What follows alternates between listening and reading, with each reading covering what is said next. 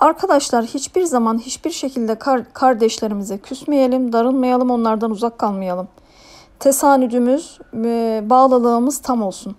Bakın Kastamonu layıkasında üstadımız diyor ki birden ruhuma gelmiş bir endişeyi beyan ediyorum.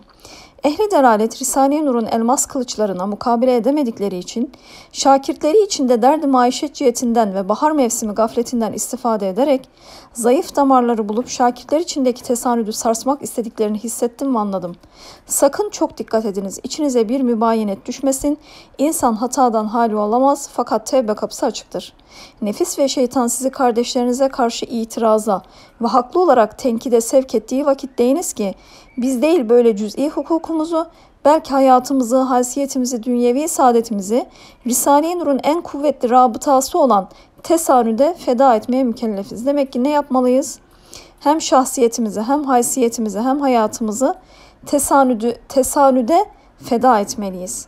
O bize kazandırdığı netice itibariyle dünyaya, enaniyete ait her şeyi feda etmek vazifemizdir deyip nefsinizi susturunuz. Medar niza bir mesele varsa meşveret ediniz. Çok sıkı tutmayınız. Herkes bir meşrepte olmaz. Müsamaha ile birbirinize bakmanız şimdi elzemdir.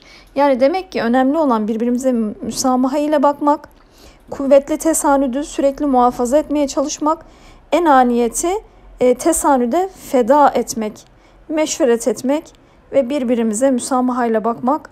Umum kardeşlerimize birer birer selam ederiz diyor. Bitiriyor üstadımız. Hayırlı günler sevgili seyircilerim.